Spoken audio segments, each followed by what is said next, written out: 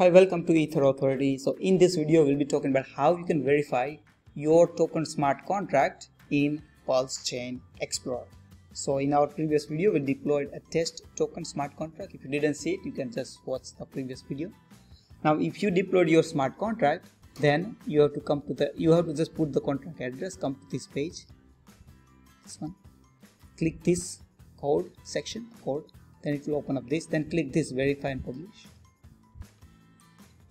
most cases just leave this op option as it is unless you have any other options like if it is Vyper contract or any other type of options but most likely 99% you have to keep this as it is. Click on next. This is Yul contract no because it's a solidity so it's no contract name. So to find the contract name you have option one.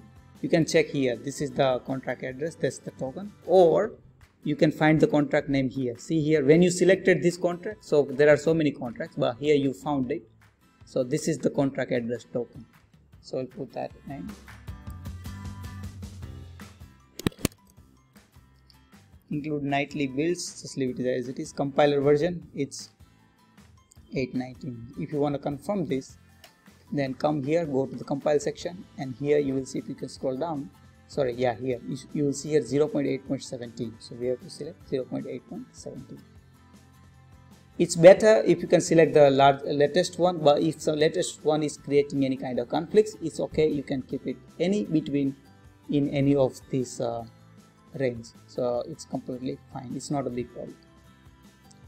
Leave everything as it is. Optimization if you want to check it come here. Go to the advanced section and here enable, enable optimization. We haven't done it so no. So no. And here we have to put all the code. So come here. Select. Copy. Here and paste. Code has been pasted. Just leave everything everything as it is and verify. It will take like 30 minutes. Okay. Sorry 30 seconds but it's done so as you can see the code has been verified. People will be able to see all these details.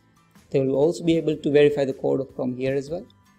And uh, yep that's it. So you have verified your smart contract code in pulse chain blockchain explorer.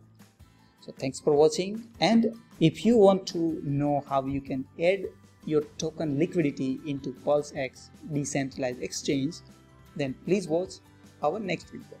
Thanks so much and see you on next video